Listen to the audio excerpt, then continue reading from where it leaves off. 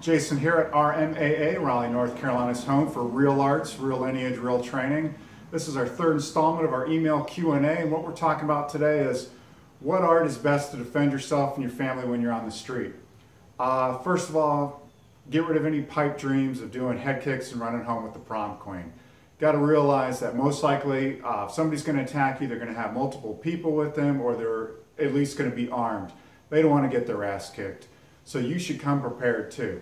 Now, martial arts is my business, it's my bread and butter, but I'm going to be honest, if you're that concerned about your safety and the safety of loved ones, get a gun, learn how to use it, learn how to take care of it, learn how to store it.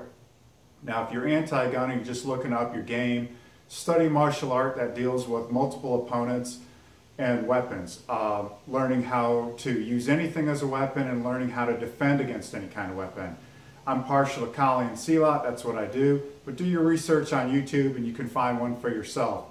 Avoid the sport style um, martial arts like Brazilian Jiu-Jitsu and Thai boxing. It's not that they're bad arts, it's just they've been watered down for competition. They've taken away the use of weapons and the efficient strikes.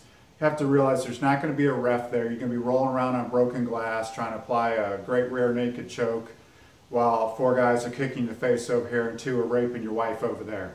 That's the reality of the situation.